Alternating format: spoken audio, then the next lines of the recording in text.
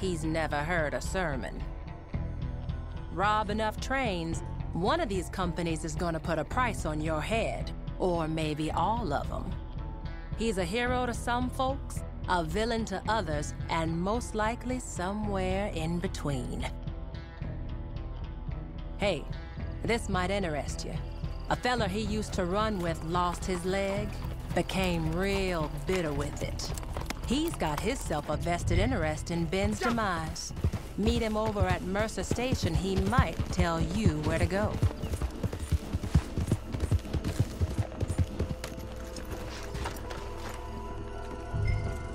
Hey, you looking for Red Ben?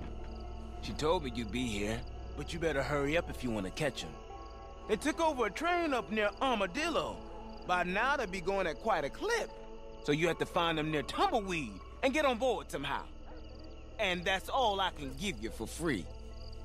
Pastor made me a cripple. That don't mean I'm gonna give him up on the plate for nothing.